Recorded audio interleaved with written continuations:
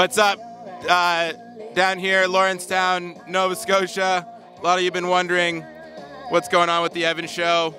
Well, I'm going to let you know what's going on with the Evan Show. This is definitely Shania's best record for sure. All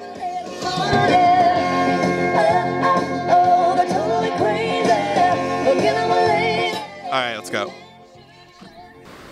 Okay, the first thing you're going to want to do if you're coming to Lawrencetown is check the waves.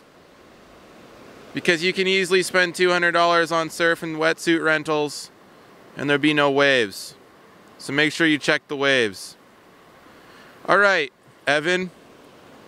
A lot of people have been asking, what's up with the Evan show? Would you care to tell them what's up with the Evan show? Well, Nick, yes, uh, the Evan Show is more than alive and well, and we're just out here on the beach right now, just having a nice uh, recharge. And uh, no, the Evan Show will be up and uploading. We're living out our cars right now, Nick, so it's uh, kind of difficult to, to post episodes when you don't have Wi-Fi and upload speeds are like one megabyte an hour. Um, but we're gonna push through it for this vid here and uh, hope all you guys are doing well and uh, you know, keep loving your life.